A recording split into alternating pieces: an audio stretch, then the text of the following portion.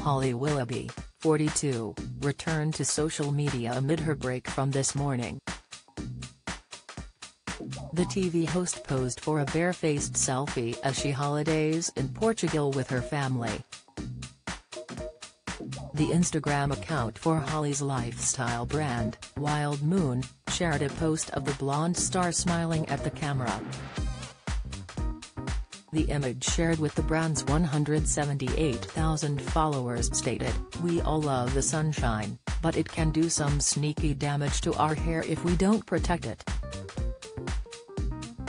Holly's hair guru at slurpexa underscore hairstylist is here with her professional tips to make sure your hair stays safe all summer long. The post which focused on sun and sea came after Holly was spotted eating lunch with her mum in Portugal.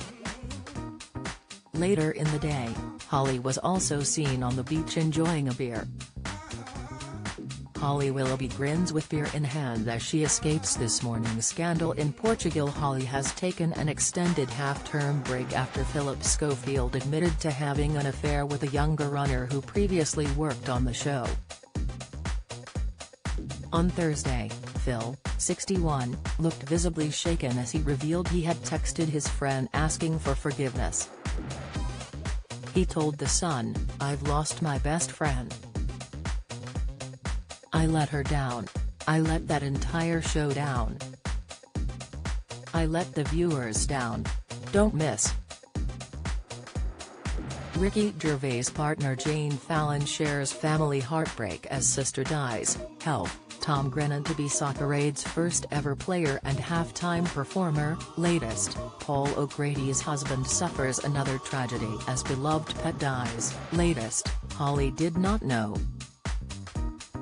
and she was one of the first texts that I sent, to say, I am so, so sorry that I lied to you. The former Dancing on Ice host confirmed that she didn't reply, but that if anyone is in any way linking Holly to this, that is absolutely, wholly untrue. The presenter who has now left ITV and been dropped from his talent management of 35 years has remained quiet over the past few weeks, minus a few statements. Speaking to the same publication he issued another apology, but this time to the former ITV staff member. He stated, I think my greatest apology must go to him.